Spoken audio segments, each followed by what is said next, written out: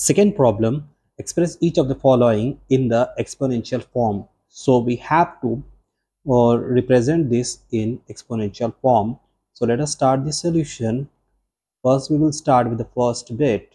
So in the first bit we are having minus 1 by 343. So let us take out the factors of 343. We know that 343 goes in 7 table. 7 fours are 28 so 6 left, 7 9s are 63, 7 7s are 49. So 7 1s are 7. So we got 3 7. So we can write minus 1 by 7 cube. But we know that minus 1 cube is also minus 1 because if we write minus 1 into minus 1 into minus 1 we will get minus into minus plus so plus 1 into minus 1 now, if we multiply this plus into minus is minus, 1 ones are 1. So, minus 1. So, we can write minus 1 by 7 whole cube. Since we are getting the same answer for them. Next, let us do the next bit.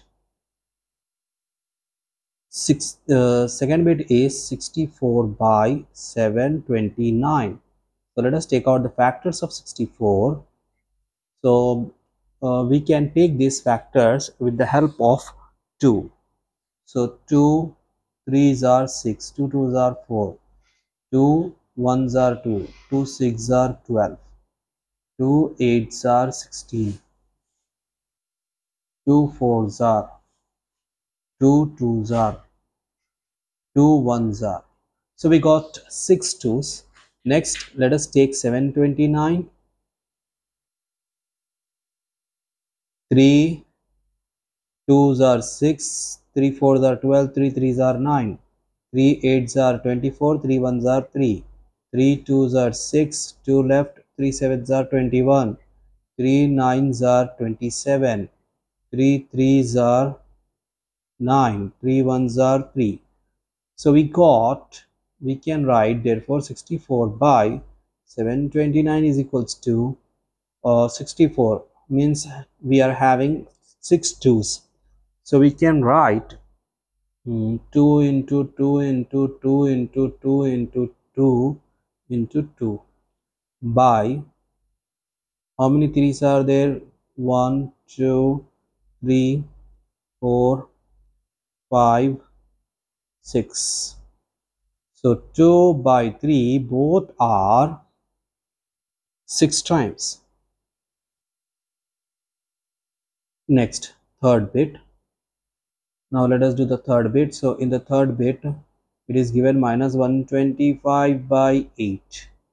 So let us take out the factors of 125. So 5 2s are 10, 2 left, 5 5s are 25. 5 5s are 25 5 ones are 5 next is 8 2 fours are 8 2 twos are 4 2 ones are 2 so this is minus. We know that the cube of minus is minus. So we can write minus 125 by 8 as minus 5 by 2 whole cube